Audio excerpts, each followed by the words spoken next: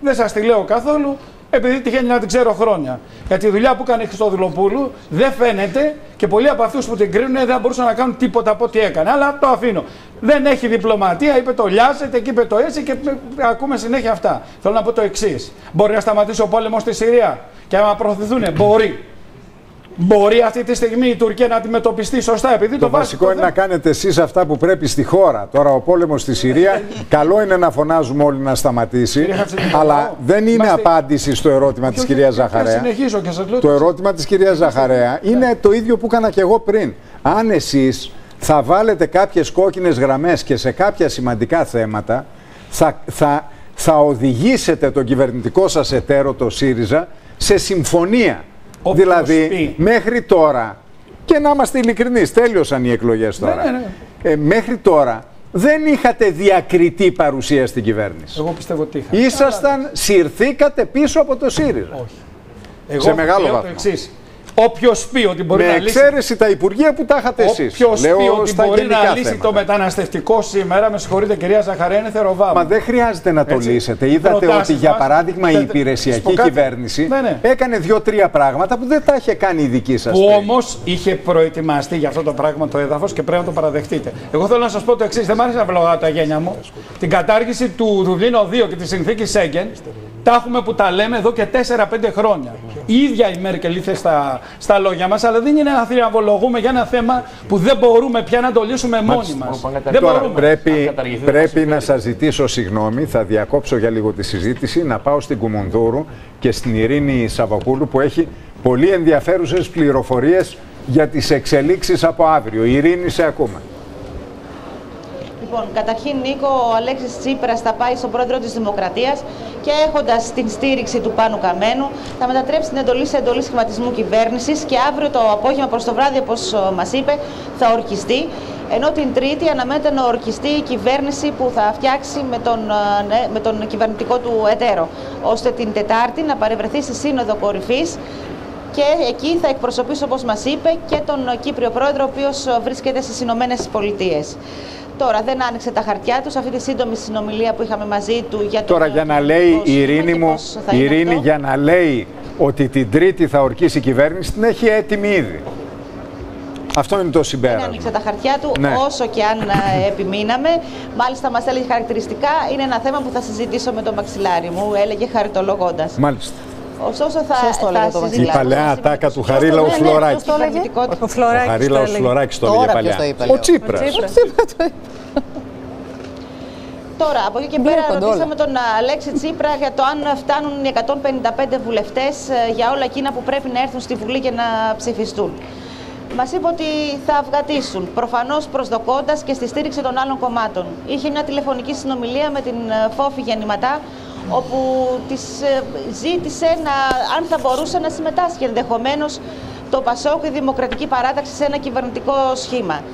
Ε, από την ε, πλευρά της κυρίας Γεννημετά όμως δεν υπήρχε θετική απάντηση, θετική ανταπόκριση και γι' αυτό όπως σας είπα προσδοκά σε αυτή την στήριξη στη Βουλή. Όπως μας έλεγε χαρακτηριστικά πρέπει να δούμε ποια θα είναι η στάση που θα κρατήσουν τα κόμματα του κέντρου στις, στις κρίσιμες ψηφοφορίες που θα έρθουν.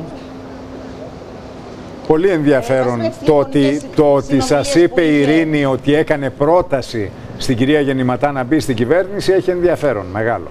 Τι άλλο είπε; Ε, μάλιστα μας είπε ότι η κυρία Γεννηματά ε, έβαλε ένα θέμα για το εσωτερικό του κομματός της και μας επεσήμανε επίσης και τη διαφορετική στάση που κρατάει ο κύριος Θεοχαρόπουλος τουλάχιστον στην τηλεφωνική συνομιλία που είχε με τον ε, κύριο Τσίπρα. Ο ίδιος τώρα ο πρόεδρος του, του ΣΥΡΙΖΑ προβλέπει εξελίξεις στα κόμματα της αντιπολίτευσης ε, μετά το σημερινό εκλογικό αποτέλεσμα. Ε, δεν περίμενε ότι οι πρώην συντροφοί του από την λαϊκή ενότητα δεν θα έμπαιναν ε, στη Βουλή. Δεν είχε κάποιο τηλεφώνημα από τον ε, κύριο Λαφαζάνη. Όση ώρα ήμασταν μαζί του, τα μηνύματα έρχονταν συνεχώς. Είδαμε το μήνυμα του κύριου Θοδωράκη. Μας είπε ότι επικοινώνησε μαζί του ο Κώστας Καραμαλής. Ε, και βέβαια το τηλεφώνημα του Φρανσουά Ολάν, ο οποίος έχει ήδη πει ότι τις επόμενες μέρες, του το είπε και ο ίδιος στο τηλέφωνο, ε, θα έρθει στην Αθήνα, θέλει να έρθει στην Αθήνα. Ενώ ο Αλέξης Τσίπρας τέλος του μήνα θα επισκεφτεί και τις Ηνωμένες Πολιτείες και ενδεχομένως να έχει και μια συνάντηση με τον Αμερικανό πρόεδρο Μπαράκ Ομπάμα. Θα πάει στη Γενική Συνέλευση του ΟΗΕ και μπορεί να δει και τον Αμερικανό πρόεδρο. Αυτά. Ε, τώρα, ε, ε, θεωρεί ο Αλέξης Τσίπρας πως το σημερινό αποτέλεσμα είναι ένα μήνυμα σταθερότητας προς τους Ευρωπαίους εταίρους, μια κυβέρνηση τετραετίας όπως μας έλεγε χαρακτηριστικά. Να ευχαριστήσουμε την Ειρήνη Σαββοπούλου. Πάρα πολύ ενδιαφέρον το ρεπορτάζ της. Στον κύριο Παναγιώτη Σωτήρη θα πάω τώρα. Κύριε Χατζη Νικολάου, με επιτρέπετε να πω κάτι. Πολύ σύντομα σας παρακαλώ, γιατί δεν έχουν μιλήσει κάτι και πρέπει έχουμε. να γίνει και εσείς το έχετε βάλει με τις δημοσκοπήσεις. Εμείς, σε μόνιμη βάση, Συζητήθηκε ήδη το θέμα. Έχει, έχει ήδη συζητηθεί επαρκώς. Κάτι δεν πρέπει να γίνει τουλάχιστον αλήθεια αυτό το θέμα. Σήμερα μπορεί να αφορά εμάς, αύριο κάποιον άλλον. Ε. Συμφωνώ απόλυτα μαζί σας. εγώ καταρχήν ότι κάτι πρέπει να γίνει. Ζήτησα συγγνώμη στο Facebook, στο λογαριασμό μου, το οποίο έχει διαβαστεί ε, ναι. και στο Athens Voice και παντού. Γιατί αν δεν ζητηθεί αυτή η συγγνώμη, δεν πρόκειται να ακουστεί και το τι έγινε, τι δεν έγινε. Για το οποίο έχουμε δεσμευτεί όλες οι εταιρείες ότι θα κάνουμε μια εκδήλωση με δημοσιογράφους. Εγώ χαίρομαι που το ακούω αυτό Βεβαίως. κύριε Μαύρο. Και το πρώτο πράγμα ξεκινάει από το συγγνώμη. Το οποίο ανεξάρτητα με το αν ήταν αθέλητο, κακά ελληνικά, εν πάση περιπτώσει, ε, πρέπει να απαντηθεί τι ακριβώς έγινε. Έχω εδώ τα αστάθμιστα δείγματα. Ναι, μην το, το κάνετε όμως τώρα. Όχι, όχι, δεν, δεν απαντώ. Ώρα, δεν απαντώ. Δεν απαντώ. Δεν, δεν, απαντώ. δεν απαντώ επί της ουσίας. Σας λέω ποια είναι η στάση μας αρχίζοντας από μένα. Μάλιστα. Πάμε στον κύριο Παναγιώτη Σωτήρη. Ε, Μας είπε πριν από λίγο η Ειρήνη Σαββοπούλου ότι ο Πρωθυπουργός είπε ότι δεν ανέμενε να μην μπει η λαϊκή ενότητα στη Βουλή και φαντάζομαι πολύ περισσότερο δεν το αναμένατε εσείς. Τι ήταν αυτό που σας ε, οδήγησε σε αυτό το κακό αποτέλεσμα; Καλά, εξήγησε ο κύριος Ζαραλίκος πριν αρκετά για, τις, για τα κενά μας. Μας τσάκισε έτσι που τα περιέγραψε. Θα, θα, θα, χρησιμοποιήσουμε την ανάλυση του και στην ιστορική μας ε, συζήτηση. Μόνο μία διάψευση. Έχω, η πληροφορία που είχα εγώ ήταν ότι ο ταξιτζής ήταν πραγματικός. Έχετε χιούμορ πάντως, έτσι. Κοιτάξτε να δείτε, τώρα έλεγα έλεγα στους συντρόφους κάτω, έλεγα, επειδή εγώ δεν είμαι από το χώρο του ΣΥΡΙΖΑ και τους έλεγα, γιατί είστε τόσο κατηφείς; Για μένα, που είμαι από την εξοκοινοβουλευτική αριστερά, είναι το υψηλότερο ποσοστό που πέτυχε ποτέ ο χώρος της εξοκοινοβουλευτικής αριστεράς. 2,9% δεν θα το πετυχαίναμε ποτέ. Τώρα, στα σοβαρά όμως. Κοιτάξτε, στα σοβαρά προφανώς δεν καταφέραμε ε, να πείσουμε αυτή τη θυμωμένη νεολαία. Χρησιμοποιώ εκφράσεις που άκουσα πριν στη συζήτηση και είναι εύστοχες.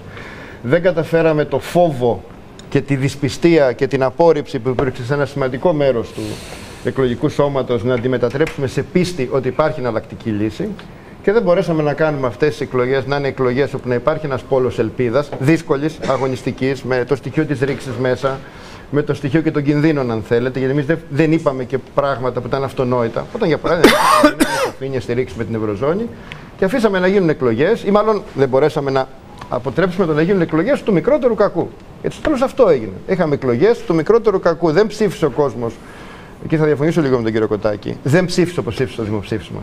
Στο δημοψήφισμα ψήφισε και με την καρδιά και με το μυαλό, με αυτό που ήθελε, με αυτό που πίστευε. Πήγε κόντρα σε θεούς και δαίμονες, κόντρα σε κλειστές τράπεζες, κόντρα σε μια ιδεολογική τρομοκρατία που υπήρχε, κόντρα σε ανοιχτές απειλέ στην Ευρωπαϊκή Ένωση. Ε, Δυστυχώς, Δυστυχώς. Το εισπράξατε. Με το συμφωνώ, συμφωνώ. συμφωνώ. Δεν είναι. Όχι, όχι. Άρα συμφωνούμε, διαφωνούμε. Όχι, όχι, δεν, κύριε Κοτάκη, κύριε Κοτάκη, δεν διαφωνώ στο αποτέλεσμα. Ναι. Σε αυτό που σας είπα ήταν ότι ε, εμείς δεν είπαμε ότι εμείς θα θέλαμε να μπορούσαμε να μετατρέψουμε αυτό το όχι, όχι σε μια ψήφο υπέρ της λαϊκής ενότητας, να το μετατρέψουμε σε μια νέα, σε μια αυτοπεποίθηση της κοινωνίας η μεταστροφή του κυρίου Τσίπρα στην πραγματικότητα τσάκισε αυτή την αυτοπεποίθηση που έστω και για λίγο Δεν προέκυψε από το αποτέλεσμα πάντως. Δεν προέκυψε. Πιστεύετε ότι ψήφισαν, ψήφισαν οι ψηφοφόροι του ΣΥΡΙΖΑ; Δεν το σεβόμαστε, δεν υπάρχει θέμα σε αυτό. Προφανώς και ψήφισαν και κέρδισε ο ΣΥΡΙΖΑ. Ψήφισαν με αυτοπεποίθηση, ψήφισαν με την αίσθηση ότι ξημερώνει μια άλλη μέρα ή ψήφισαν με την αίσθηση ότι ξημερώνει μια δύσκολη μέρα; Ζορισμένη ξημερώνει με μνημόνιο, ξημερώνει με λιτότητα και έμφυα. Δεν είναι ανεγκέφαλοι ψηφοφόροι, ξέρουν τι ψηφίζουν. Ένιωσαν ότι το μόνο πράγμα που είχαν επιλέξουν ήταν ποιος θα ήταν πρωθυπουργός. Προτίμησαν εκεί το ΣΥΡΙΖΑ. Εμείς όμως παρόλα αυτά λέμε ότι πέρα από όλα αυτά, έτσι ξεκινάει μια άλλη μέρα. Τελειώσαν οι εκλογές. Άρα τελειώνει η πολιτική επικοινωνία, τελειώνει ο τρόπος που κινούνται τα κόμματα και αύριο ξεκινάει μια πραγματικότητα. Από τη μια έχουμε μια κυβέρνηση που ξέρουμε το κυβερνητικό της πρόγραμμα. Το έχει ψηφίσει. 223 μέτρα, πολύ συγκεκριμένα μέχρι στα επόμενα τρία χρόνια και ένας μηχανισμός αξιολόγησης που όπου υπάρχουν απορίες, γιατί ακούω από διάφορους εκπροσώπους τους ΣΥΡΙΖΑ να λένε Μα έχουμε περιθώριο. Εκεί που έχετε περιθώριο θα έρχεται η αξιολόγηση. Δεν έχετε περιθώριο. Έχετε περιθώριο να εφαρμόσετε οτιδήποτε διαφορετικό από ό,τι θα υπαγορεύουν οι δανειστές και έχουμε ζήσει το μηχανισμό πέντε χρόνια. Αν Άρα λοιπόν το ερώτημα. Πάντως, επειδή ανοίξαμε τη συζήτηση, όλα Παρακαλώ. αυτά τα θέσατε υπόψη του ελληνικού λαού και ε, παρά το γεγονός ότι εσείς στην πραγματικότητα ρίξατε την κυβέρνηση, αποδοκιμαστήκατε. Και αυτό, ανεξάρτητα τι έλεγε πριν από λίγο ο κύριος Ζαρολίκος ή όχι, αυτό είναι πάρα πολύ σοβαρό. Πήγατε 30, όχι εσείς προσωπικά, 40 βουλευτές. 45, 45 βουλευτές και σας αποδοκίμασε. Δεν σας έβαλε καν στη, στη Βουλή. Αυτό είναι πάρα πολύ σοβαρό, όχι μόνο για το χώρο σας συνολικά. Το, στο διάστημα που ακολουθεί, κύριε Κοτάκη, αν αυτά που θα προσπαθήσουμε να συζητήσουμε μέσα στα μαζικά κινήματα, κατά πόσο θα απορρίπτονται ή όχι. Γιατί όταν αρχίσει η κοινωνία να συζητάει όχι πια για το τι θα ψηφίσει, αλλά αν μπορεί να πληρώσει αυτά τα οποία καλείται να πληρώσει, αν έχει ή όχι τρόμους να αντισταθεί, εκεί που θα χρειάζεται ξανά, όχι να ψηφίσει, αλλά να φτιάξει ξανά δίκτυα αλληλεγγύης για να μπορέσει να επιβιώσει, εκεί που θα βρεθεί ξανά με την απελπισία της ανεργίας, παρατεταμένη ύφεση, της φτώχειας η οποία δεν έχει σταματημό, εκεί θα δούμε όχι αν γίνεται αποδεκτή η λαϊκή ενότητα. Αυτό, αυτό είναι δευτερόλεπτο. Ναι, να σας πω κάτι. Αλλά τώρα, εάν... τώρα είχαμε εκλογές και στις εκλογές αυτές κρίθηκε και η απόφαση και, το 2009 και η απόφαση της αριστερής εκλογ... πλατφόρμας. και το 2009 είχαμε αφήστε το 2009 είμαστε στο 2015 και είχαμε εκλογές στις οποίες κρίθηκε και η απόφαση της αριστερής πλατφόρμας να αποχωρήσει από το ΣΥΡΙΖΑ οδηγώντας αναγκαστικά τον Τσίπρα σε εκλογές. Οι εκλογές έγιναν με πρωτοβουλία του κυρίου Τσίπρα, ούτως ή άλλως δυνάμεις να συγκυβερνήσει. Τι εννοείται με πρωτοβουλία του κυρίου Τσίπρα, τι θα έκανε, θα έμενε με 120 κυβέρνηση. Παριστάνει τον Πρωθυπουργό με 45 αμφισβητείε βουλευτές. Για όνομα του Θεού. Στοιχειώδης δηλαδή αξιοπρέπεια ενός πρωθυπουργού τη βάλει να μην παριστάνει τον πρωθυπουργό. Να παραιτηθεί. Όταν οι καινούργιες πλατείες και οι καινούργιες διαδηλώσεις δεν θα έχουν σαν στόχο τα παλιά μνημονιακά κόμματα, αλλά θα έχουν σαν στόχο το ΣΥΡΙΖΑ. Εκεί θα δούμε, εκεί θα αναμετρηθούμε. Όταν ο κύριος Τσίπρας που μιλούσε για το γεμάτο σύνταγμα που θεωρούσε ότι τον υποστήριζε, και όντως Στι 3 Ιούλη τον υποστήριζε. Αλήθεια είναι αυτό. Ήμουν εκεί και το την αίσθηση όμως ότι έχει σταματήσει να υπάρχει αυτό το διάστημα ανεργία, ότι ο κόσμος βρήκε λεφτά αυτό το διάστημα; Δεν είναι καμία διακοπή στη φτώχεια, στην ανεργία, στην απελπισία του κόσμου. Ο κόσμος όμως δεν πίστεψε ότι μπορούσε ότι υπάρχει εναλλακτική λύση. όλο αυτό το πράγμα. Δεν πίστεψε ότι υπάρχει εναλλακτική λύση. Εκεί προφανώς αναλαμβάνουμε μια ευθύνη και λέμε ότι ούτε εμείς πιθανώς δεν το εξηγήσαμε, δεν το είπαμε σωστά, δεν το δουλέψαμε. Χρεωνόμαστε. Καταρχήν, αν μου επιτρέπετε, εναλλακτική λύση. Γιατί είδαμε μόνο δύο διαφημιστικά σποτ. Το ένα ήταν του κυρίου Λαφαζάνη πάνω σε ένα ταξί με original ταξιτζί όπως είπατε. να πηγαίνει για το νομισματοκοπείο και μία δεύτερη με τον κύριο Λαπαβίτσα να κάνει ένα λογοπαίγνιο. Την πρότασή σας που δεν και εκτός ευρώ δεν την είδαμε πουθενά. Και αναμένουμε αυτή τη μελέτη των οικονομολόγων που δεν είναι, αν μου επιτρέπετε, τόσο εύκολη υπόθεση. Γιατί αν λάβουμε υπόψη μας ότι υπάρχουν δύο σχέδια μόνο, ένα του Γιουγκέρ και ένα του Σόιμπλε, που είναι πολλές σελίδες και αφορούν χιλιάδες θέματα μέσα. Το σχέδιο Σόιμπλε είναι αυτό που εφαρμόζεται, είναι το μνημόνιο. Ναι, όχι, υπάρχει κι άλλο. και υπάρχει και για το time out από το ευρώ. Δική σας πάντως εναλλακτική πρόταση με την οποία απευθυνθήκατε στον ελληνικό λαό δεν, δεν παρουσιάσατε είναι απόλυτα, ένα περιεχόμενο. Είναι απόλυτα κατανοητό αυτό που λέτε και δεν έχω κανένα φόβο να παραδεχτώ ότι ενώ ένα σημαντικό μέρος επεξεργασιών που ήδη υπάρχουν, που αφορούν όντως τον οδικό χάρτη για την έξοδο από το ευρώ, τη βάση πληρωμών στο χρέος, τι σημαίνει ανάκτηση δημοκρατικού ελέγχου στην οικονομική και νομισματική πολιτική, δεν το δουλέψαμε όσο έπρεπε. Υπάρχει σε κάποια σχέδιο τέτοιο. Φυσικά Πάντως, έτσι, έτσι για να χαμογελάσουμε και λίγο ακόμη. Θα ανοίξει αυτή η συζήτηση. Για να χαμογελάσουμε και λίγο ακόμη, στο Twitter έχουν ανεβάσει τώρα τη φωτογραφία Λαφαζάνη με τον ταξιτζή και του λέει ο Λαφαζάνης πίσω Κομονδούρου. πίσω, αυτό, αυτό, είναι η μόνη, αυτό είναι η μόνη διαδρομή την οποία δεν δεν θα γίνει. και κάποια στιγμή θα τα καταφέρουμε να φτάσουμε όχι μεταξύ το σχέδιο. Θα φτάσουμε και να μην φωτοκοπείο. Δεν έχει απορία. Τίποτα. Τι σχεδίαζε για επιστροφή στη δραχμή. Μία και τέταρτο είναι διαφροντισιακή. Λοιπόν, παρακαλώ. Θέλω άλλη απορία όμως. Εγώ πιστεύω σημαντική και δεν έχουν απαντήσει. Σύλλα μου, θα έρθω σε σένα. όχι, τη ΛΑΕ τώρα.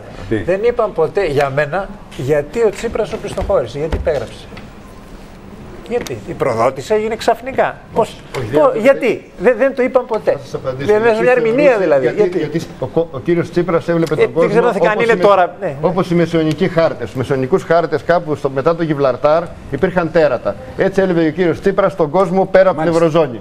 Λοιπόν, Εμείς λέμε ότι δεν υπάρχουν εκείνη, τέρατα. Εκείνη, εκείνη τη στιγμή την Τώρα, ε, Όχι, το πίστευε ανέκαθεν, αλλά αυτό ήταν και το πρόβλημα και το όριο. Είναι καινούργιο, δεν Και αν με ρωτάτε εμένα, ήταν λόγος που δεν ήμουν ποτέ στο ΣΥΡΙΖΑ. Τον έχουμε ρωτήσει και έχει δώσει λοιπόν, τη δική του Όχι, η Δεν υπάρχουν τέρατα έξω από την Ευρωζώνη, μπορεί να υπάρχει ένας άλλος δρόμο. Η ΛΑΕ πώ το δικαιολόγησε ενδιαφέρον. Λοιπόν, πώς το ερμήνευσε. Νομίζω είναι απλά. Η κάλπη σήμερα έδειξε ότι ο Αλέξης Τσίπρας και ο ΣΥΡΙΖΑ στις εκλογές αυτές δεν είχαν αντίπαλο και δεν είχαν αντίπαλο διότι δεν υπήρχε για τους πολίτες αξιόπιστη εναλλακτική λύση. Γι' αυτό και η καθαρή αυτή νίκη. Ο ρόλος της Νέας Δημοκρατίας ήταν θολός, ήταν μια συμπολιτευόμενη αντιπολίτευση που υπέγραψε μεν το μνημόνιο αλλά δεν ενέκρινε και τα μέτρα που το συνοδεύουν, που πιστεύει στην εφαρμογή του προγράμματος αλλά θέλει να κρατάει και τις αποστάσεις που θα της δίνουν τη δυνατότητα να το επικρίνει. Ε, όμως τα δύσκολα τώρα αρχίζουν ε, για τον κύριο Τσίπρα και για την κυβέρνησή του. Από αύριο κιόλας και θα χρειαστεί μεγάλη επιδεξιότητα, για να μην πω ε, θα χρειαστεί να επιδείξει δεξιότητες ταχυδακτηλουργού για να μπορέσει το μνημόνιο αυτό το οποίο ψήφισε να το υλοποιήσει με έναν τρόπο κοινωνικά ανεκτό. Ε, ο ανταποκριτής μας στις Βρυξέλλες, ο Θάνος Αθανασίου, μετέδωσε τα πρώτα σχόλια που κάνουν από τις Βρυξέλλες και ξέρετε τι λένε, ότι χαίρονται διότι το μνημόνιο θα το εφαρμόσουν εκείνοι που το εψήφισαν. Μάλιστα. Χαρακτηριστικό το σχόλιο. Κύριε Πατούλη, τι λέτε; Οι εκλογές τελειώσανε. Νομίζω ότι ο κόσμος, ο λαός έδωσε μια δεύτερη ευκαιρία ε, στο στη συγκυβέρνηση ε, ΑΝΕΛ και ΣΥΡΙΖΑ. Από εκεί και πέρα, όπως είπε ο κ. Παπαδόπουλος, πρέπει από αύριο να αρχίσει η κυβέρνηση να διοικεί τη χώρα. Θα σας έλεγα ότι τους τελευταίους μήνες και λίγο πριν το δημοψήφισμα νιώθαμε ότι δεν μπορούσαμε να έχουμε συνομιλητές. Δηλαδή, ξέρετε, όταν το ΕΣΠΑ αυτή τη στιγμή έχει σταματήσει όλα τα έργα σε όλους τους Δήμους, όταν το μεταναστευτικό που ακούσαμε θα έχουμε ένα εθνικό σχεδιασμό και αυτό που γινόταν ήταν ένας αυτοσχεδιασμός μέσα στην τοπική αυτοδιοίκηση, κατά το κύριο λόγο. Και όταν αυτή τη στιγμή υπάρχουν μεγάλα ζητήματα στη διαχείριση των τοπικών και οικονομιών αλλά και στον τουρισμό που το ζήσαμε όλοι μας, όλοι νιώθουμε εντάξει, σε 7 μήνες ε, γίνανε τρεις εκλογικές διαδικασίες, θα σταματήσει αυτό το πράγμα. Θα πρέπει λοιπόν, ε, εφόσον, εδώ θυμόμαστε 200 τόσοι ψηφίσανε το τρίτο μνημόνιο. Ξαφνικά τώρα γίνανε 155 εκείνοι που θα είναι στην κυβέρνηση. Εμείς θα λέγαμε ότι θα πρέπει λιγάκι να αρχίσουμε όχι να σκεφτόμαστε μέσα από ένα τακτικισμό, αλλά θα έπρεπε να σκεφτόμαστε εθνικά, ενωτικά. Δηλαδή δεν καταλαβαίνω τα πόσα μεγάλα όρια υπάρχουν σήμερα μέσα στα κόμματα όταν έχουμε να αντιμετωπίσουμε τα οικονομικά, την ανεργία, τις εταιρείες που έχουν κλείσει, τον τουρισμό που δεν έχουμε αντιμετωπίσει σωστά και όλα αυτά και βάζουμε όρια συνεχώς. Και πράγματι αυτά τα όρια δημιουργούν, ξέρετε τι λένε οι μισοί; Πότε θα γίνουν εκλογές, δεν θα τελειώσει το 16, θα εξαγίνουν εκλογές. Και ο κύριος Τσίπρας είπε ότι εμείς θα είμαστε τετραετίας. Το πιστεύει κανείς ότι θα είναι τετραετίας αυτή η κυβέρνηση; Θα Εγώ θα σας έλεγα. Ο κύριος Κουρομπλή σε λίγο. Μακάρι. Εγώ πραγματικά Ευχαριστώ, το θέλω. Δήμαρχε. Ε, ξέρετε όμως. Ε, Δήμαρχε, ε, μόνο το... μια τελεία σας παρακαλώ, γιατί έχω πίεση Βεβαίως. μεγάλη, ο χρόνος είναι πολύ λίγος. Ε, πολύ σύντομο σχόλιο ο Αντώνης Οπίκουλας, ο εκδότης της Αξίας, για να πάω μετά στον κύριο Χατζησοκράτη, στον κύριο Κουρουπλή. Θα συμφωνήσω και εγώ με την ανάλυση του Γιάννη, του Παπαδοπουλού προηγουμένως, ότι τα δύσκολα είναι μπροστά. Και τα δύσκολα είναι μπροστά, διότι τα θέματα τα ανοιχτά είναι πάρα πολλά από το εργασιακό και το ασφαλιστικό μέχρι τις ιδιωτικοποιήσεις, αλλά με πολύ κυρίαρχο και ουσιαστικό το ζήτημα της ανακεφαλαιοποίησης των τραπεζών, στο οποίο θα σταθώ για δευτερόλεπτα. Το θετικό και το ουσιαστικό και το πρώτο δείγμα γραφής θα το πάρουμε από την κυβέρνηση η οποία θα σχηματιστεί, δηλαδή από τη σύνθεσή της.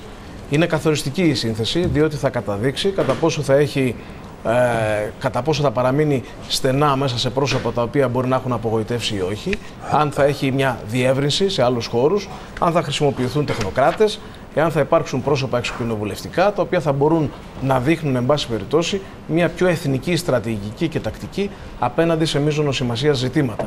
Και επίσης είναι σημαντικό το ότι ο κύριος Τσίπρας καλείται σήμερα να κυβερνήσει και να εφαρμόσει ένα πρόγραμμα χωρίς εσωκομματική αντιπολίτευση, με καθαρό εσωτερικό τοπίο και ταυτόχρονα χωρίς να υπάρχει ένας διαχωρισμός κοινωνικός του μνημονιακού και του αντιμνημονιακού που δημιουργούσε πάρα πολλά προβλήματα στην καθημερινότητα στο μέσο Έλληνα πολίτη. Από εκεί και πέρα, το μεγάλο θέμα για μένα, το οποίο ξεκινάει από αύριο, είναι το ζήτημα Νίκο των τραπεζών.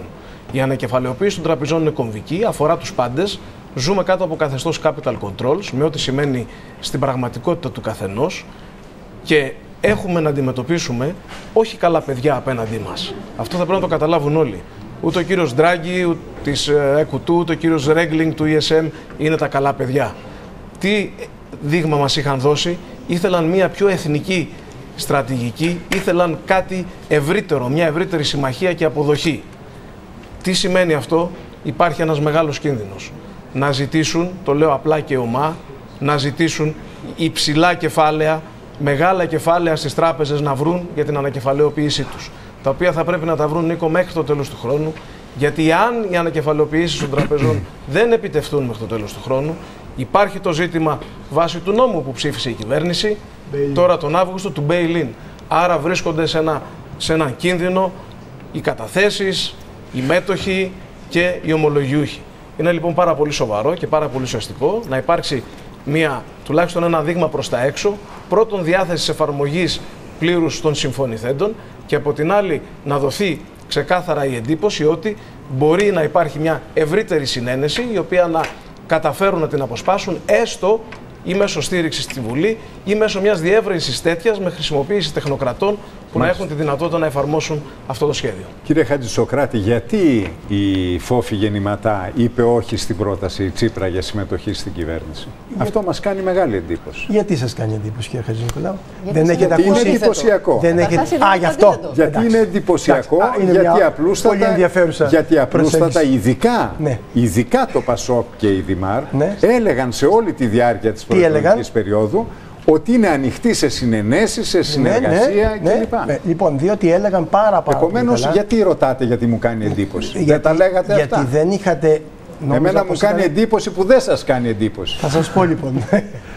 λοιπόν, θα το γυρίσω λοιπόν. Ε, δεν είχαμε πει. αυτό κύριε Χατζη Νικολάου.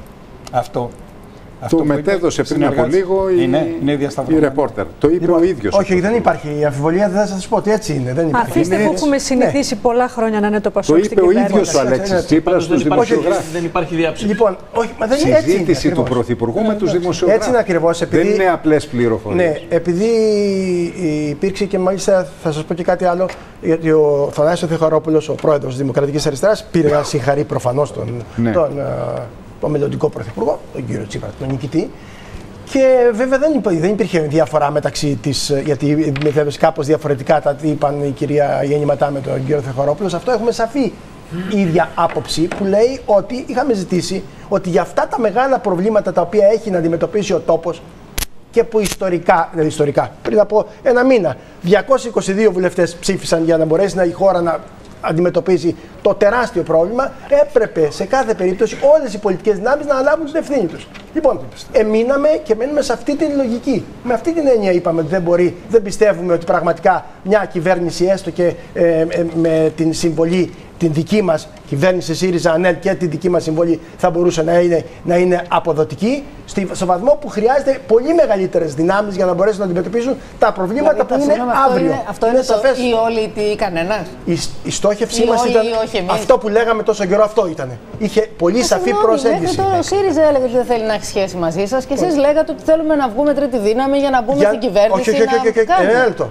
Θέλαμε να έχουμε τρίτη δύναμη για να βάλουμε. Θα το ξαναπώ έλεγε και θέλω να με διαψεύσετε αν τα δείτε πώς διατυπώνονται. Θέλουμε να είμαστε τρίτη δύναμη έτσι ώστε η φόφη γεννηματά να βάλει τους δύο άλλους μονομάχους, ας πούμε, στο τραπέζι της συζήτησης γύρω από να φτιάξουμε μια κυβέρνηση που θα έχει τα χαρακτηριστικά της ευρύτερης ε, δυνατής, ας πούμε, συνεννόησης. Εσείς θέλετε ε, δηλαδή πράγμα. κυβέρνηση ΣΥΡΙΖΑ Νέας Δημοκρατίας προκειμένου εμείς, να μετάσχετε θέλαμε, καλά, το έχουμε καταλάβει. Σε κάθε περίπτωση να υπάρχει μια ευρύτατη ε, συμφωνία, ε, ευρύτερο δυνάμει. Ένα είδος οικουμενικής δηλαδή. Όπως εκφράστηκε ναι, αλλά δεν είχε, για παράδειγμα, θέσει τέτοιο όρο το Πασόκ στη Νέα Δημοκρατία πριν συνεργαστεί μαζί της.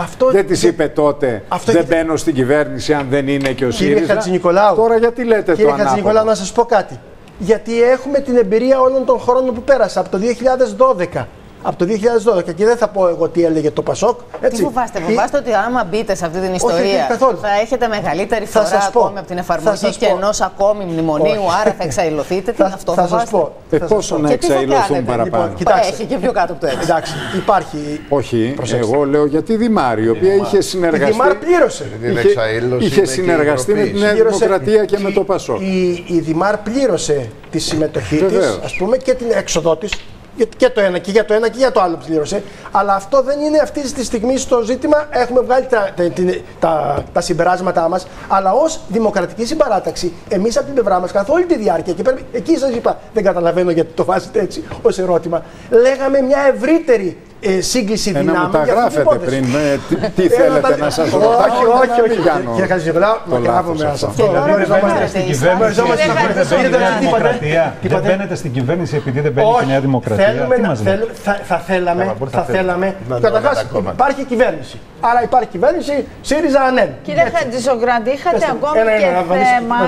Δεν με επιτρέπετε να το ολοκληρώσω. Ωραία, ολοκληρώσω. Λέω λοιπόν, θα θέλαμε μια κυβέρνηση που να ήταν ευρύτερη, να μην έχει τη δυνατότητα να κάνει ο ΣΥΡΙΖΑ με τους ΑΝΕΛ και να συνεχίσει αυτό που είναι. Πέρα από τις διαφορές που έχουμε το, με, το, με τους ΑΝΕΛ, τις οποίες έχουν διατυπωθεί κατά όλη την διάρκεια. Αλλά δεν είναι εκεί το ζήτημα. Η ευρύτερη συμπόρευση όλων των δυνάμεων που λέγαμε ε, απαντάει σε αυτό που ιστορικά ζήσαμε πριν ακριβώς από ένα μήνα. Δηλαδή όλες οι πολιτικές δυνάμεις για να μην μπει η χώρα σε αυτό που είπαμε ότι θα, θα κόντευε να, να, να, να εξοκύλει, έβαλαν πλάτη για να μπορέσει να προχωρήσει. Και επειδή τα προβλήματα δεν έχουν τελειώσει και τα προβλήματα είναι μπροστά μας, χρειάζεται μια ευρύτερη συνένεση δυνάμεων να γίνει. Θα τα βρούμε μπροστά μας τα ζητήματα. Αυτό είναι ή ζητάει ο Τσίπρας να μην είναι ο Βενιζέλος μέσα. Ε, δεν Αυτό είναι. Ή ζητάει ο Τσίπρας να μην είναι ο Βενιζέλος και ο Λοβέρδος μέσα. Κοιτάξτε, τώρα το μιλάτε, μιλάτε στο Χατζοκράτη. Λοιπόν, Μα γι' αυτό λέω. Έχω. Κύριε Χατζησοκράτη και εσείς μιλάτε στο Χατζη Νικολάου. Λοιπόν, και εγώ Θέλω να σας πω λοιπόν. Θέλω να σας πω λοιπόν να σας πω ότι δεν έχω μεταξύ Χατζίδων, μεταξύ Χατζίδων ειλικρίνη. Σωστό. Λοιπόν, εδώ είναι σαφές από την προεκλογική περίοδο, όχι τώρα, ότι, ότι ο κύριος Τσίπρας είπε εγώ με το Πασόκ και τη Φόφη συζητάω αλλά χωρίς τα βαρύδια και έδειξε ως βαρύδια το Βενιζέλο και το Λοβέρδο. Ε, λοιπόν, ε, ε, ε, Μήπως είναι αυτό το ζήτημα δεν λοιπόν; Δεν το γνωρίζω και δεν νομίζω πως υπήρχε τέτοιου είδους ας πούμε άρα επειδή Γιατί είπε κάτι άφησε ο Πρωθυπουργός τους ναι. δημοσιογράφους να εννοηθεί ναι ότι η κυρία Γεννηματά του είπε και κάτι για το εσωτερικό του κόμματός της. Έτσι άκουσα εγώ τη ναι, ρεπόρτερ μας να λέει. Εγώ δεν ναι, ξέρω, διότι ε, δεν μπορείτε να ζητάτε κύριε, από μένα, κύριε Χατζηνικολάου, να ξέρω τι υπόθηκε μεταξύ ναι. του τηλεφώνου της κυρίας Γεννηματάς και του, και του ναι. κύριου Τσίπρα. Μόνο όμως ξέρω ότι είναι προφανές ότι όταν κάνει κάποιος ένα διαχωρισμό στο οποιοδήποτε κόμμα, δεν μιλάω τώρα για το Πασόκ, είναι προφανές ότι δεν το αποδέχεται ο άλλος. Άσχετα από τις διαφορές τις οποίες έχω κατά όλη αυτή την περίοδο εγώ είπατε, τι είπατε; Σε περίπτωση συνεργασίας Πασόκ ναι. με ΣΥΡΙΖΑ δεν θα ακολουθούσε όλο το Πασόκ. Προφανώς. Αυτό, αυτό είναι άλλο ζήτημα. Αυτό είναι, αυτό είναι άλλο θέμα. Αλλά Μήπως, ήταν. Μην μου πείτε ότι φτιάχτηκε ναι, αλλά πρέπει να μιλήσουν και οι, και οι υπόλοιποι. Να πείτε να απαντήσετε γιατί δεν θέλω. Εγώ απαντάω στην κυρία. Τον ναι. Υπουργό Υγείας ρωτήστε για τον πίκη. Μήπως δεν θέλατε με τους ΑΝΕΛ, δεν περιμένατε να μπουν οι ΑΝΕΛ στη Βουλή και μπήκανε τελικά, γίνονται τώρα εταίροι του κυρίου Τσίπρα και δεν θέλει το Πασόκ με τους ΑΝΕΛ. Μα, όχι το Γιατί μιλάγατε ακόμη και για προγραμματική ε, σύγκληση. Αυτό έλεγε η κυρία Φόφη. Ε, ο μόνος που έβαζε, δεν έλεγε για μεγάλο συνασπισμό. Ω δημοκρατική συμπαράταξη έχουμε μία πολιτική άποση με τους ΑΝΕΛ. Αυτό είναι δοσμένο. Δεν το, το έχουμε πει αρκετές φορές. Δεν είναι τώρα, δεν είναι σημερινό, αλλά υπήρχε ούτως ή άλλως. Αν δεν υπήρχαν οι ΑΝΕΛ, με διαφορετικό τρόπο θα πηγαίνουν τα πράγματα. Υπάρχουν, θα δούμε την εξέλιξη των πραγμάτων. Πολιτικά είναι τα προβλήματα που θα τεθούν και εμείς έχουμε ανοίξει ένα άλλο μεγάλο ζήτημα, το οποίο πρέπει να το πούμε, κύριε Γαζιόλα. Η υπόθεση αυτή της συμπαράταξης των δυνάμεων της κέντρο αριστεράς για μας δεν, δεν είναι ένα θέμα που τελειώνει εδώ πέρα. Έχει ανοίξει πλέον ένα πολύ μεγάλο ζήτημα και θα σας πω και Αυτά κάτι τα λέτε για να τα ακούει η κυρία Αποστολοπούλου Θα το πω αμέσως. Θα, θα της δώσω το λόγο ναι, να το πω όμως για να, για να ναι. γίνει και επιπέρα. Εμείς από την πλευρά μας η πρόσκληση, η πρόκληση σε όσους από το, το, το, ποτάμι νιώθουν πως έχουν σχέση με την κεντροαριστερά είναι αύριο, μεθαύριο να ανοίξει αυτή η μεγάλη συζήτηση για να επιτέλους αυτός ο χώρος κεντροαριστεράς να μπορεί να βρει το βηματισμό του. Θα πάω τώρα στο. Κύριε Χατζησοκράτη, μου επιτρέπετε για το όχι, θέμα όχι, δεν σας επιτρέπω επιτρέπω θα, εγώ. Θα μπορεί και το αντίστροφο να γίνει και προς το ποτάμι. Πρέπει και το ποτάμι να μείνει ανοιχτό. Πρέπει να πάμε σε ένα. Παρακαλώ, με ακούτε; Ε, Όχι, δεν γίνεται. Πρέπει να πάμε σε ένα διαφημιστικό διάλειμμα και αυτό προηγείται πάντα. Και θα επιστρέψω με τον κύριο Κουρουπλή και μετά με την κυρία Αποστολοπούλου. Μου το χάσατε.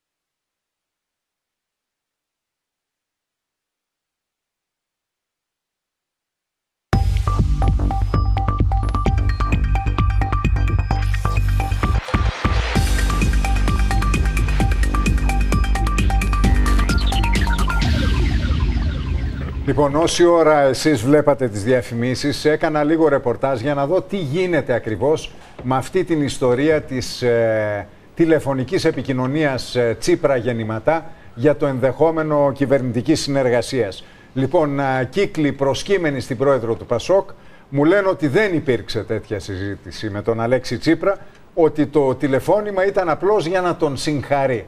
Τώρα, άλλοι, μου έλεγε ο Νίκος ο Στραβελάκης, τι Νίκο, ότι λένε προσκύμενοι στον Αλέξη Τσίπρα. Το ρεπορτάζ από το Μαξίμου είναι ότι υπήρξε η επικοινωνία, ζήτησε ο Αλέξης Τσίπρας από τη Φόφη Γεννηματά στήριξη στο κυβερνητικό έργο. Ανοχή δηλαδή. Στήριξη. Αυτή είναι η λέξη που χρησιμοποιούμε. Όχι συμμετοχή στην κυβέρνηση. Όχι συμμετοχή. Σε καμία περίπτωση συμμετοχή. Ναι, Κάτια. Το ρεπορτάζ, ε, μετά από επικοινωνία με την ε, κυρία Γεννηματά, της είπε τουλάχιστον η πρόεδρος του Πασόκ, ότι θέλει να έχουν καλύτερη σχέση τα δύο κόμματα. Της συνεχάρει και εκείνη για το ποσοστό του Πασόκ και της είπε ότι οι εκλογές κάνουν τους ηγέτες. Μάλιστα.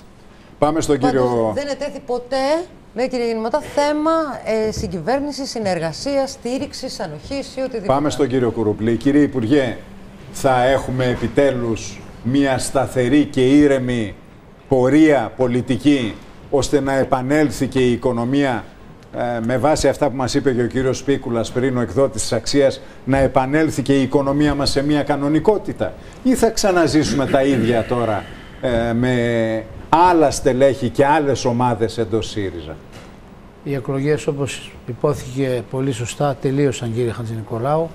Υπάρχουν νικητές πάντα στις εκλογές, αυτή η ομορφιά της δημοκρατίας. Υπάρχουν και νικητές, υπάρχουν και τιμένοι, υπάρχουν και στρατηγικές ήττες. Θα τα συζητήσουμε, έχουμε χρόνο. Το, το ζητούμενο είναι τι γίνεται αύριο.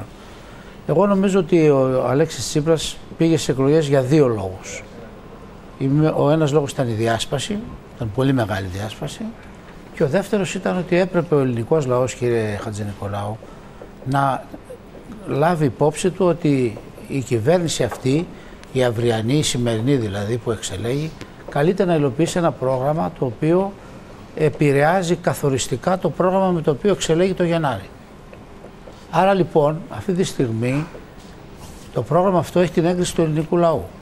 Διότι υπόθηκαν πάρα πολλά και ένθε και ένθεν πώς θα γίνει, πώς θα εφαρμοστεί. Λοιπόν, ως εκ τούτου αυτό και μόνο εξασφαλίζει μια σταθερότητα. Ξέρει ο ελληνικός λαός ότι είναι δύσκολα τα πράγματα. Ξέρει ότι θα εφαρμοστούν δύσκολες, δύσκολα μέτρα. Όμως το μεγάλο στίχημα για τον Τζίπρα και για το ΣΥΡΙΖΑ και το ΣΑΝΕΛ, κύριε Χατζηνικολάου, είναι το αίσθημα δικαιοσύνης που θα νιώσει, αν θα νιώσει ο ελληνικός. Δεν θα ήταν προτιμότερο να κάνετε μια κυβέρνηση με μεγαλύτερη κοινοβουλευτική στήριξη, μια ευρύτερη, να το πω έτσι, συμμαχία; Εγώ δεν πιστεύω σε αυτά τα σχήματα, κύριε Χατζηνικολάου. Τα δοκιμάσαμε. Και τι έριξε ο κύριος Σάμαρα, δεν ήταν μεγάλο σχήμα, κύριε Χατζηνικολάου, η κυβέρνηση Παπαδήμου; Γιατί την έριξε; 250 βουλευτές είχε. Δηλαδή, ε, μην έχουμε μνήμη χρυσόψαρου. Είναι ωραίο το να λες συνεργασία. Δεν έριξε ο Μητσοτάκης στην κυβέρνηση Ζολότα. Άμα παρακολουθήσουμε λίγο πολιτική ιστορία, έχουμε παραδείγματα. Τα οποία έδειξαν ότι και η κυβέρνηση Πασόκ, Δημάρ και ε, Νέα της Δημοκρατίας, τι ήταν αυτό που έφερε το καινούργιο και γιατί την καταψήφισε ο ελληνικός λαός. Λοιπόν, εγώ πιστεύω ότι αυτή τη στιγμή ο ελληνικός λαός έστειλε ένα μήνυμα πάρα πολύ καθαρό. Όλοι πίστευαν η ΑΝΕΛ δεν θα είναι στη Βουλή. Κανένας δεν το πίστευε. Το πιστεύατε εσείς, κύριε Χατζη Νικολάου; Τι, ότι θα μπουν; Το ναι. πίστευα, ναι. Το πιστεύατε. Πίστευα ότι θα μπουν. Από τους πολύ λίγους είστε. Ε, το είχα πει όμως και δημόσια. Ναι, όχι, το δεν, είχα δεν, πει το, στο δεν ραδιόφωνο. Το αλλά θα ήσασταν από τους πολύ λίγους. Λοιπόν, ο ελληνικός λαός τους έβαλε στη Βουλή. Αυτό σημαίνει συνεργασία με το ΣΥΡΙΖΑ. Θα κρυθούμε. Εάν εμπεδώσουμε το αίσθημα της δικαιοσύνης, εγώ πιστεύω ότι ε, εκεί που έχασε το Πασόκ και πλήρωσε ήταν ότι δεν μπόρεσε ποτέ να στήσει ένα μηχανισμό δίκαιης κατανομής των βαρών. Όχι γιατί ο ελληνικός λαός περίμενε θαύματα, ξέρει τις δυσκολίες, ξέρει τα προβλήματα. Από εκεί και πέρα το, το μεγάλο ζητούμενο, κύριε Χατζη Νικολάου και κυρίες και κύριοι, και επιτρέψτε να συγχαρώ και όσους έχουν εκλεγεί βουλευτές, δεν το, το ξέχασα από την αρχή, ε, είναι το, το, η υπόθεση της ανάπτυξης που συνδέεται αρρήκτως με το θέμα της ρύθμισης του χρέους. Ε, είπε ο ελληνικός λαός, το κόμμα, τα κόμματα που πίστεψαν στη μη βιωσιμότητα του χρέους, αυτά πρέπει να διαπραγματευτούν το χρέος. Λοιπόν, θα το διαπραγματευτούμε και όλοι οι σοβαροί αναλυτές ανά τον κόσμο, εδώ είμαστε όλοι, παρακολουθούμε, στη συντριπτική τους πλειοψηφία θεωρούν κομβικό σημείο το γεγονός ότι άμα ρυθμιστεί το χρέος θα απελευθερωθούν και θα εκδηλωθεί, εκδηλωθούν πολύ μεγάλα, έτσι, μεγάλες πρωτοβουλίες για επενδυτικές δραστηριότητες στην Ελλάδα. Μακάρι. Κύριε Κουρουπλή, δεν σας ανησυχεί καθόλου το γεγονός ότι μέσα στους βουλευτές του που θα εκλεγούν τώρα για πρώτη φορά με το ΣΥΡΙΖΑ είναι αρκετοί, αν όχι όλοι, από τους 53 οι οποίοι έχουν μια πλατφόρμα η οποία κινείται στη θέση του παρόν. Ο λαός τιμώρησε τη διάσπαση με τον πιο σκληρό τρόπο. Όταν έγινε η διάσπαση, γιατί μιλάμε για μεγάλη διάσπαση, δεν ήταν πέντε βουλευτές. 45, 45 έχετε. Λοιπόν, ε, όλοι θεωρούσαν, υπήρχε και μία έπαρση ότι θα, θα πάρουν διψήφιο αριθμό. Ο ελληνικός λαός λοιπόν την τιμώρησε αυτή τη διάσπαση. Δεν του αρέσουν. Κοιτάξτε, όσοι ξέρουμε λίγη πολιτική ιστορία, κανένας δεν πέτυχε από όσους διέσπασαν τα κόμματά τους. Κανένας. Πάρτε Στεφανόπουλο, πάρτε Σαμαρά, πάρτε Αρσένη, πάρτε Τρίτσι, πάρτε. Ποιον θέλετε να πούμε. Σε πρακτικό επίπεδο. Ναι, αλλά μετά γίνονται πρόεδροι και πρωθυπουργοί. Αυτό είναι άλλο, βεβαίως. Είναι άλλο, αλλά είναι και το ίδιο. Το πρώτο βήμα. Νίκο, αν μπορώ να ρωτήσω ναι. τον κύριο Κρουκλή το εξής. Σε πρακτικό επίπεδο περιμένετε βουλευτές που ψήφισαν παρόν όταν φέρετε τους εφαρμοστικούς νόμους τώρα να τους ψηφίσουν, γιατί έχουν, εκλεγεί τέτοιοι. Γι' αυτό σας ρωτάω. Έχουν ξεκαθαριστεί όλα με όλους.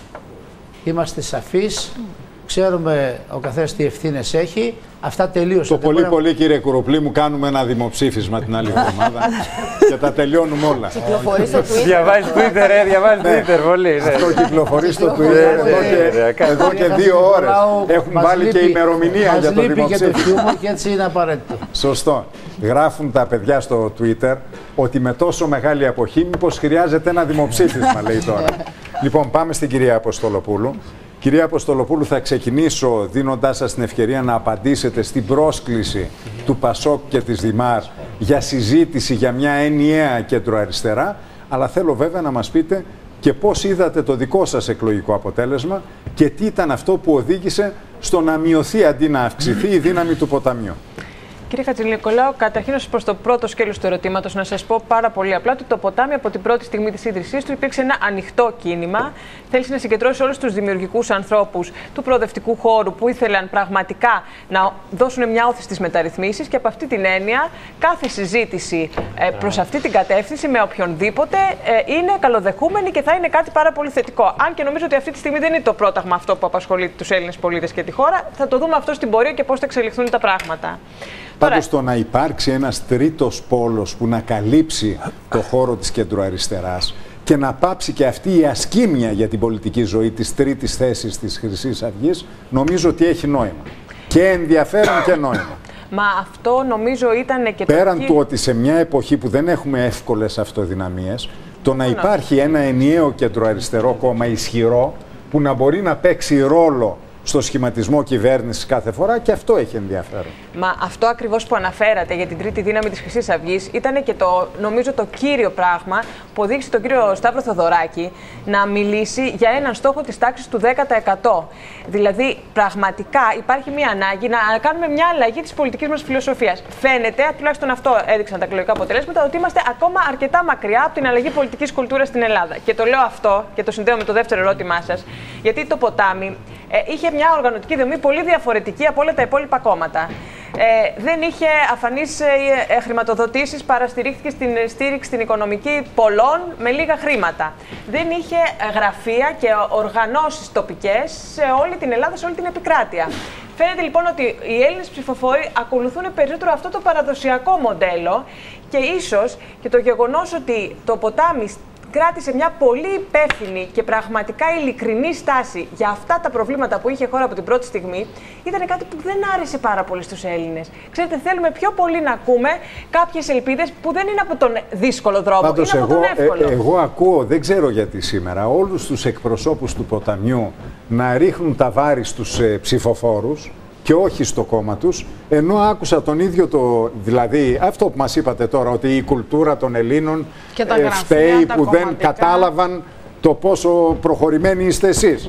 Αλλά εγώ άκουσα τον πρόεδρό σας, το Σταύρο Θεοδωράκη, να λέει φταίω πρώτα εγώ. Κύριε Χατζηνικόλα, και αυτό μου κάνει εντύπωση. Είστε βασιλικότεροι του βασιλέως δηλαδή τα στελέχη. Και η κυρία Λιμπεράκη πριν και εσείς τώρα. Κύριε Χατζηνικολάου, Είστε... καθόλου, καθόλου δεν ισχύει αυτό. Καταρχήν, δεν υπάρχει ευθύνη. Ενώ ο ίδιος ο κύριος Θεοδωράκη υπάρχει... παραδέχθηκε ευθύνες και λάθη. Ακούστε με λιγάκι. Δεν υπάρχει ευθύνη των πολιτών για αυτό το αποτέλεσμα. Ο πολίτης αποφασίζει και αποφασίζει με σεβαστό τρόπο. Ναι, αλλά αυτό μας είπατε. Ότι είστε πολύ μπροστά, τα κάνετε όλα πολύ προχωρημένα. Δεν είπα ούτε μπροστά δεν έχετε γραφεία. Είπα διαφορετικά ότι τα κάνουμε. Ναι, και δεν καταλαβαίνει η κοινωνία. Είπα ότι τα Είστε κάνουμε. τόσο προχώ που δεν καταλαβαίνει η κοινωνία. Να μην βάζετε λόγια στο στόμα μου να πω Αυτό λέει και το κουκού. Που θα ήθελα. ο λαό σε εμάς. Ε, Εμείς είπαμε το κάτι πάρα πολύ απλό. Ότι τα κάναμε διαφορετικά. Και αν υπάρχει κάποιος σε αυτό το τραπέζι άλλος που να πει ότι το ποτάμι έκανε έναν εκλογικό αγώνα όπως κάνουν παραδοσιακά τα υπόλοιπα κόμματα, ας βρεθεί κάποιος να μου το πει. Δεν έκανε. Αλλά αυτό που λέμε πρωτοτυπία δεν είδαμε. εγώ ας πούμε, εγώ ας πούμε δεν θεωρώ πολύ προχωρημένο προεκλογικό αγώνα το να βγαίνει ο αρχηγός και να δώστε μου 10%. Ε, με το κόκαλο ή χωρίς; Κύριε Χατζηνικόλα. Δηλαδή αυτά. Για να μην που δεν αυτό, υπάρχει. αυτό για να δεν το έχω ξαναδεί ποτέ και είμαι από το 83 στο πολιτικό ρεπορτάζ. Να βγαίνει ο αρχηγός και να ορίζει το ποσοστό που πρέπει να του δώσουν οι πολίτες. Δεν Λοιπόν, το έχω ξαναδεί. Ο, ο, ο, ο κύριος Θεοδωράκης είπε όμως κάτι ρεαλιστικό. Ότι με ένα 10% θα μπορώ να είμαι ένας ισχυρός ρυθμιστικός παράγοντας. Αυτό είπε. Με ένα 10% θα είμαι ένας ισχυρός ρυθμιστικός παράγοντας. Κύριε Αποστολοπούλου, μήπως πληρώσατε το γεγονός ότι είχατε μεγάλη προθυμία; να συγκυβερνήσετε Πάντως πριν μου ήρθε ένα μήνυμα στο Twitter ότι σε μια περιοχή έκανε 11% λέει το ποτάμι να το αφήσω. Απλώς για να μην αφαιθεί εντύπωση και στους τηλεθεατές ότι υπάρχει κάποιο είδους ε, έπαρση. Δεν υπάρχει καμία αμφιβολία ότι τα εσωτερικά όργανα του ποταμιού θα κάνουν την αυτοκριτική τους και εσωτερικά και για τις οργανωτικές δομές και για το ποια ήταν τα μικρά ή τα μεγάλα ατοπήματα που δείξαν σε αυτό το γλυκό αποτέλεσμα. Ε, αυτό όμως που λέω είναι κάτι διαφορετικό, κύριε Χατζηνικολάου. Δεν λέω ότι φταίνει οι πολίτες γιατί το ποτάμι πήρε 4% λέω ότι το ποτάμι ακολούθησε μια άλλη πρακτική στον τρόπο που προσέγγιζε τους πολίτες, η οποία φαίνεται ότι δεν είχε αποδοχή. Και αυτό θα πρέπει να το δούμε. Μάλιστα. Με κάποιο τρόπο. Το οποίο είναι κάτι πάρα πολύ σημαντικό. Επειδή η συζήτηση με το ποτάμι ξεκίνησε για το αν θα σκέφτονται ή θα μπορούσαν να συμμετέχουν σε μια προσπάθεια της κεντροαριστερά, εγώ ευθέως να σας πω ότι επειδή είσαστε περισσότερο κόμμα μανιέρα παρά ιδεολογία, αυτό τα λέτε τώρα εσείς. Τώρα, Όχι, πραγματικά είσαστε, δεν είσαστε, δεν είσαστε, είσαστε, είσαστε τρόπος. Προσέξτε, είσαστε τρόπος. Ένας άλλος τρόπος. Ιδεολογικά. Κινείστε σε ένα σαφή χώρο. Δεν ξέρω αν Όχι, ταιριάζει. Καθόλου. Σε ένα, σε ένα η κυρία, κεντρό η με κυρία, τριόφρονα μεταρρυθμιστικό ρόλο. Ακριβώς. Πόσο, η πιο κυρία καθαρά σας το πω. Λιμπεράκη, ας πούμε, που είναι σαφώς φιλελεύθερη, είναι κέντρο-αριστερά, γιατί να μην συζητήσουμε και τη νέα κεντροδεξιά και να αρχίσετε να σκέφτεστε προς τα δω; Σας το λέω αυτό, γιατί ένα ιδεολογικό βαρύ έρμα δεν το έχετε. Είσαστε περισσότερο ένας νέος τρόπος προσέγγισης πολιτικής. Αυτό μπορούμε να το συζητήσουμε όλοι. Δεν χρειάζεται να πάτε μόνο κεντροαριστερά. Κύριε Κουμουτσάκο, θα Κάντε χαρούμε πρόκληση, ιδιαίτερω κύριε Κουμουτσάκο. αν αυτός ο νέος τρόπος αποτελέσει θέμα συζήτησης σε όλα τα πολιτικά κόμματα. Απλώς για να ξεκαθαρίσω το, ιδεολογική πολι- βαρύτητα το δεν πολιτικό έχετε. ιδεολογικό βάρος να σας εξηγήσω από την αρχή ότι από την πρώτη στιγμή που ιδρύθηκε το ποτάμι και εγώ τουλάχιστον ίδια το έχω διατρανώσει με όποιους τρόπους μπορώ, είναι ένα κεντρό μεταρρυθμιστικό κίνημα. Αυτό είναι αρκετό. Και εμείς είμαστε για να κεντροδεξιά. πούμε- Είναι Οι αρκετό πόρτες μας για, είναι να, ανοιχτές. για να δείτε και από τις προτάσεις μας ποια ήταν τα ζητήματά του. Μήπως πληρώνετε την Για ευκαιρία με την φαγοκυτάρωση, οποία ε. λέγατε στον Πρωθυπουργό φέρε μνημόνιο να στο ψηφίσουμε ό,τι να είναι ή με την ευκολία που λέγατε εγώ συνεργάζομαι είτε βγει η Νέα Δημοκρατία είτε βγει ο ΣΥΡΙΖΑ και ήσασταν αρκετά έτσι βολικοί και ταυτοχρόνως απολυτικ. Κοιτάξτε, τα πολιτικ δεν υπήρξαμε ποτέ, για να το ξεκαθαρίσουμε αυτό. Τώρα, πάρα πολλές άλλες πολιτικές δυνάμεις ε, είπαν Καλά, και εκείνε. με την έννοια ότι δεν δηλώσατε εκείνες... ποτέ μια προτίμηση, είτε προς τα δεξιότερα είτε προς τα αριστερότερα. Δεν είχατε δηλαδή ένα συγκεκριμένο ιδεολογικό στίγμα. Συν το ότι είσαστε ένα πολύ αρχηγικό κόμμα. Άκουσα πριν από λίγο να λέτε για τα όργανα που θα συνεδριάσουν και πραγματικά να ρωτιέμαι, έχει όργανο το ποτάμι. Βεβαίω. Φαίνεται ότι δεν είστε ρήμεροι πάντω για το καταστατικό του ποτάμιου ναι, και αλήθεια, εγώ προσωπικά μετέχω στον πολιτικό σχεδιασμό, μετέχω στου τομεί πολιτική. Α πούμε, παραδοσιακή κεντρική επιτροπή, εκτελεστική γραμματεία, όπω συνεδριάζουν άλλα κόμματα, μαζεύονται και βγάζουν μια Αυτά, άμα δεν τα έχει τα λοιπόν, όργανα, είσαι. Ε, ε, με συγχωρείτε, αλλά φαίνεται ότι απέχετε πάρα πολύ. Απέχετε πάρα πολύ πάντω από την οργάνωση. Αν δεν έχετε εκτελεστική γραμματεία, πολιτικό γραφείο, κεντρική επιτροπή και συντονιστικά όργανα, σας συγχαίρω θερμά. Κάνετε λάθος αυτό που λοιπόν, λέτε, επειδή εγώ προσωπικά ναι, μετέχω σε αρκετά από αυτά τα όργανα. Όχι ενδεχομένως να ξέρουμε τι λέμε. Υπάρχει καταστατικό που είναι δημοσιευμένο από την πρώτη στιγμή και μπορείτε να δείτε και τα όργανα και τα μέλη.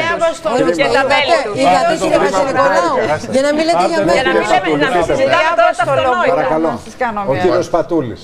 Πείτε το. Καταρχήν, εγώ χαίρομαι που τα κόμματα αρχίζουν να συγκλίνουν σιγά σιγά. Εδώ έγιναν προτάσεις. Πού την είδατε τη σύγκληση; Πώς; Εδώ, πριν λίγο ο κύριο Χατζησοκράτη. Κάνατε, εσείς εκεί έμεινε, δεν το άκουσα λοιπόν, σε κάθε... Να το δουλέψουμε λίγο. σε κάθε περίπτωση όμως.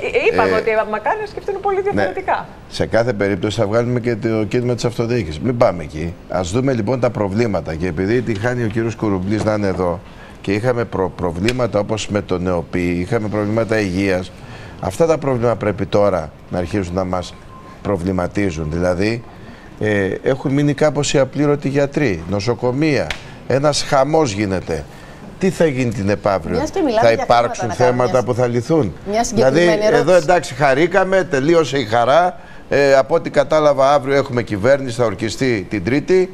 Πάμε παρακάτω. Και πρέπει σιγά σιγά, και το εννοώ κύριε Χατζη Νικολάου. Τώρα μιλάει ο πρόεδρος των γιατρών. Ε, μιλάει, ναι. γιατί ξέρετε κάτι, μου στείλαν και κάποια μηνύματα, δεν σας κρύβω. Πέστε, όλοι παίρνουμε μηνύματα. Πέστε επιτέλους, έξι μήνες είναι απλήρωτοι οι γιατροί και έχουν δουλέψει ε, πραγματικά με αυτά πάνω. Ποιοι γιατροί; Του ΕΟΠΗ αυτοί οι οποίοι ε, ε, δουλεύουν ε, και οι οποίοι δεν χρηματοδοτεί το ΕΟΠΗ. Δεν μιλάω όμως ότι μπορεί να φταίει ο κ. Κουρουμπλής. Φταίει το οικονομικό κομμάτι. Για μένα το μεγάλο ερώτημα στο θέμα της υγείας, αλλά δεν θέλω τώρα να ανοίξουμε αυτή τη συζήτηση στις 2 το πρωί. Θέλω να έχω τον κύριο Κουρουμπλή εδώ μια μέρα, να είστε και όλοι του χώρου και να κάνουμε τη Άρα λοιπόν είναι είδηση. Ο κ. Κουρουμπλής είναι υπουργός Είναι το ότι έχετε πάει τη φαρμακευτική δαπάνη πολύ χαμηλά περιλαμβάνεται σε αυτήν και τα εμβόλια και πράγματα που δεν περιλαμβάνονται Έτσι. πουθενά στην Ευρώπη. Έτσι. Και πρέπει εκεί να υπάρξει σοβαρός προβληματισμός. Στη διαπραγμάτευση τώρα που θα γίνει θα μπει αυτό το θέμα, κύριε. Είναι, είναι πολύ σοβαρό θέμα ε, αυτό και θα έχει μεγάλη επίπτωση στους πολίτες. Τώρα θέλω να πάω στον ε, Σίλα για να ε, κλείσουμε. Και θέλω, Σίλα, να μου πεις πώς είδες τις εκλογές, σε τι συμπεράσματα. Αυτό που λέει δικό σας. αυτό. τώρα αυτό. εγώ μόνος μου. Παίξε μπάλα. Χριστόφορος είναι συνεργάτης. Εγώ τώρα πρέπει να μου κάνεις ερωτήσεις, να δουλέψεις και εσύ, να υδρώσεις. Ναι. Όχι δύο η ώρα το εγώ και το θέατρο. Ξέρω. Ωραία. Πιο νωρί. Λοιπόν, πες. Από τι 10 μου στέλνει η μάνα μου μήνυμα. Ακόμα και είσαι. Πες μου. 17 ώρες με το Ζαραλίκο δουλεύατε. Σε ρώτησε, σε ρώτησε και αν πήρε σε ρώτησε και αν πήρες ζακέτα μαζί; Όχι ζακέτα, δεν πήρα τα μάξι καλού κακού γιατί λέει θα βρέξει από τις 3 και μετά. Λέω ποιο ξέρει τι ώρα θα φύγουμε, μα πάρει τα μάξι, πάρει τη μηχανή. Το ήξερα. Τώρα πες μου. Τώρα. Καταρχήν ξέρεις ότι ναι. υποχρεωμένη να αναγγείλει το αποτέλεσμα των εκλογών στον πρόεδρο της Δημοκρατίας είναι η Ζωή Κωνσταντοπούλου. Η Ζωή Κωνσταντοπούλου ακόμα πρόεδρος πρέπει να πάει τώρα είναι ακόμα, το ως πρόεδρος Βεβαίως της προηγούμενης Βουλής παρόλο.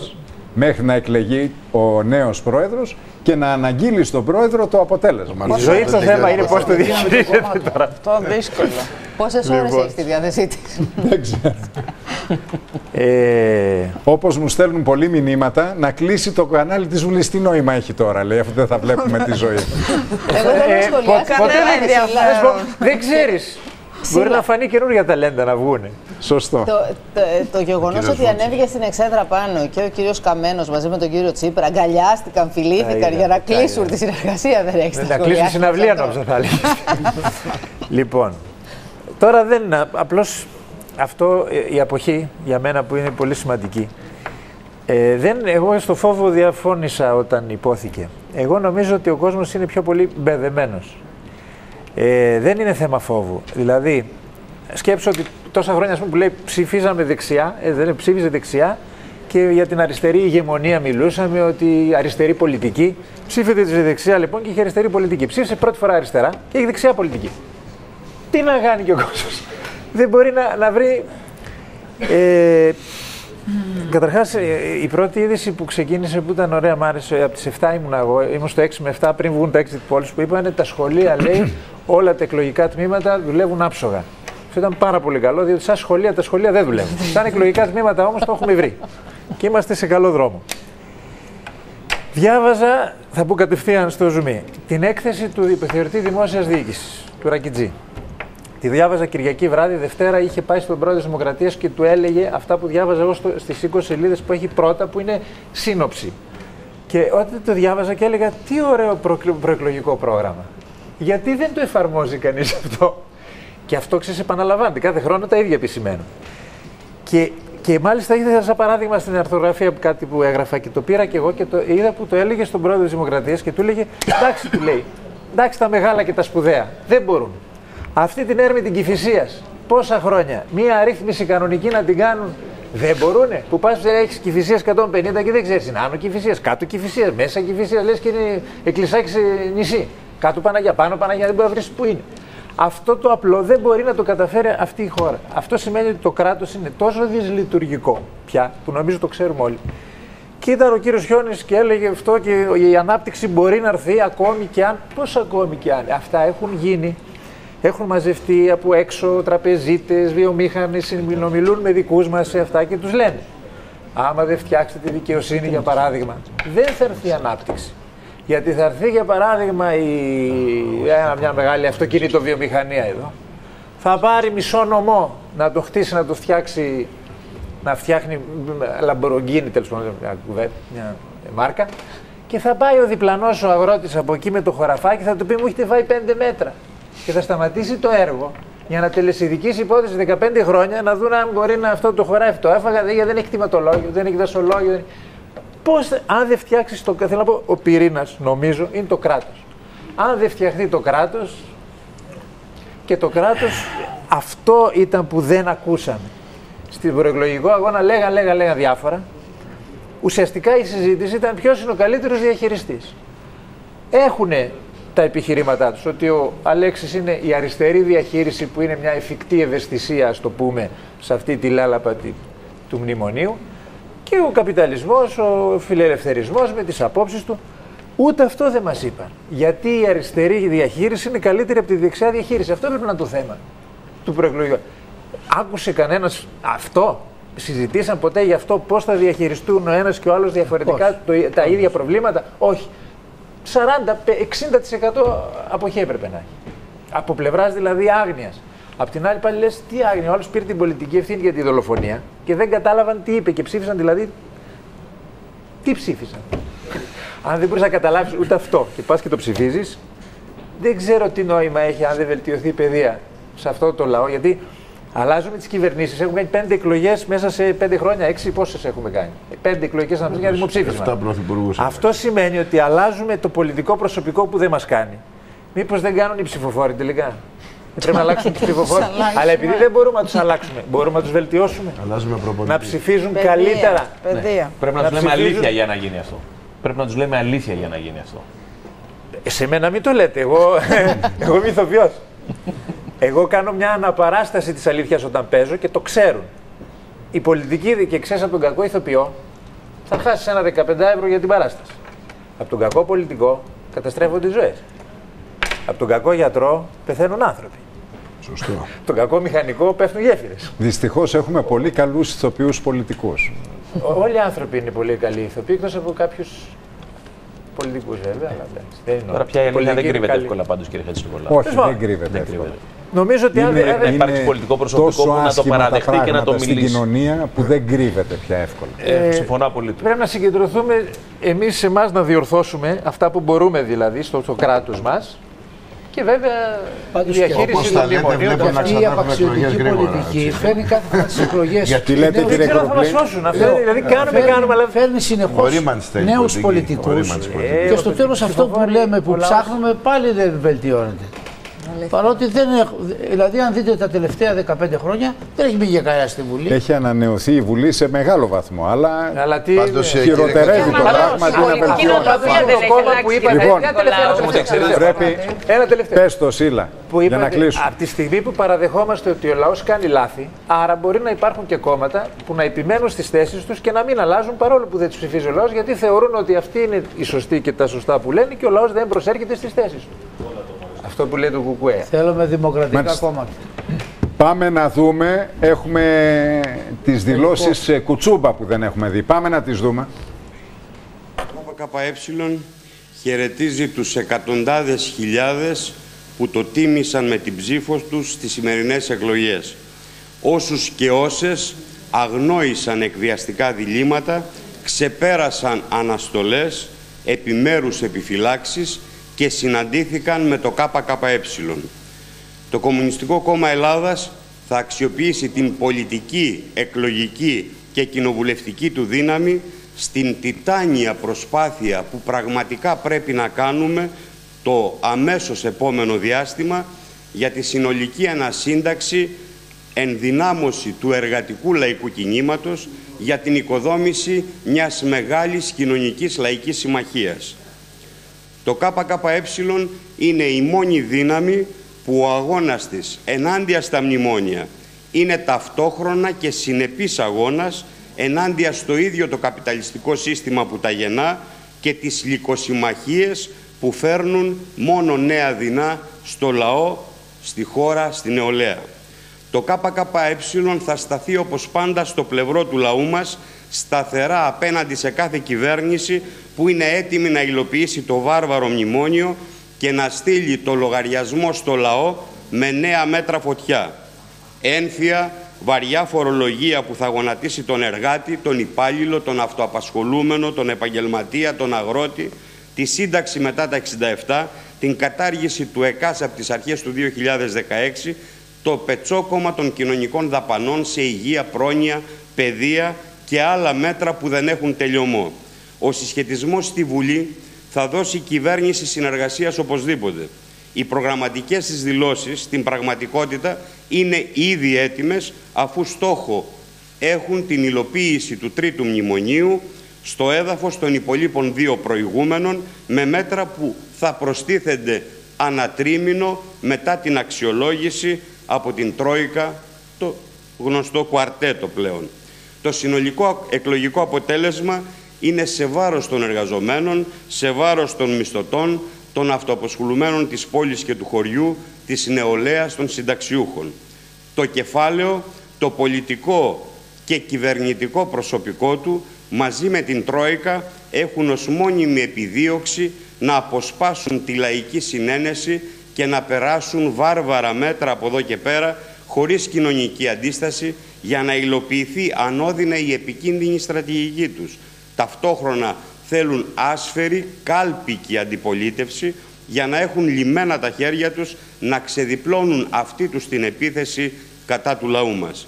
Ο αγώνας του ΚΚΕ και μέσα στη Βουλή και μέσα στο λαϊκό κίνημα θα είναι συνεπής και συνεχής αγώνας και για να απομονωθεί εντελώς το ναζιστικό τέρας της χρυσής Αυγής, οι δολοφόνοι, αυτά τα τσιράκια της απειλής του συστήματος. Το ΚΚΕ θα βρίσκεται κάθε μέρα επικεφαλής στον αγώνα για ένα καλύτερο αύριο για τα λαϊκά στρώματα της πατρίδας μας. Με το ΚΚΕ μπροστά, το εργατικό λαϊκό κίνημα μπορεί να συμβάλλει στη χειραφέτηση του εργαζόμενου λαού, στην άσκηση της μέγιστης πίεσης για απόσπαση παραχωρήσεων, να βρεθεί στο πλευρό των ανέργων και στα βασανιστικά προβλήματά τους, κυρίως να ανοίξει το δρόμο, να βάλει πλώρη για τη συνολική ανατροπή. Καλή δύναμη ευχόμαστε σε όλους και σε όλες σας. Χρειάζεται ακόμα πιο δυνατό κουκούε παντού, στους τόπους δουλειάς, στους τόπους μόρφωσης, στις λαϊκές γειτονιές, εκεί που πραγματικά χτυπά η καρδιά του αγωνιζόμενου και σκληρά δοκιμαζόμενου λαού μας. Σας ευχαριστώ.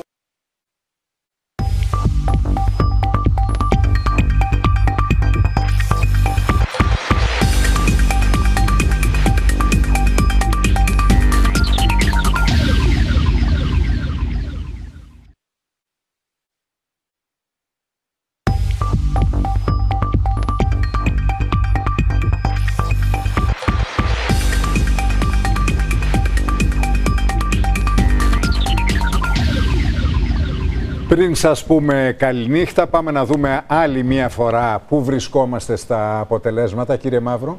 Ε, συνολικά στα περίπου 92% των εκλογικών τμήματων έχουμε 35-5 για το ΣΥΡΙΖΑ και 145 έδρες, 28% για την Νέα Δημοκρατία και 75. Ε, ο ΣΥΡΙΖΑ έχει χάσει 4 έδρες, εκ των οποίων οι δύο είναι στην Β' Αθηνών και η Νέα Δημοκρατία έχει χάσει μία έδρα, αλλά υπάρχουν αλλού κέρδισε, αλλού έχασε. Την έχει χάσει στην Κέρκυρα, παραδείγματος χάρη, ε, από τη Χρυσή Αυγή. Ε, η Χρυσή Αυγή βρίσκεται στο 7% με 18 έδρες, το Πασόκ Δημάρ 6,3 με 17 έδρες, το ΚΚΕ 5,6 με 15 έδρες, το Ποτάμι 4,1 με 11 έδρες, η ΑΝΕΛ 3,7 ε, και 10 έδρες και τέλος η Ένωση Κεντρών με 3,4 και 9 έδρες. Μία φράση, Νίκο. Ναι. Έσπευσε ο Ντάισελμπλουμ να μην χάσει, να ανεβάσει tweet. Αλέξη, συγχαρητήρια. Είμαστε έτοιμοι να εργαστούμε για τις μεταρρυθμίσεις. Ανατρίχιασα. Ευχαριστώ Μάρα Ζαχαρέα. Ευχαριστώ Πόπη Τζαπανίδου. Ευχαριστώ Δημήτρη Μαύρο. Να μην σε δούμε συχνά, να μην σε βλέπουμε συχνά. Να αργήσουμε να σε δούμε για τέτοια ναι. βράδια. Αυτό θα ήταν καλό και για τη χώρα, να αργήσετε να με ξαναδείτε. Καλό ξημέρωμα. Να είναι καλή η επόμενη μέρα για την πατρίδα μας.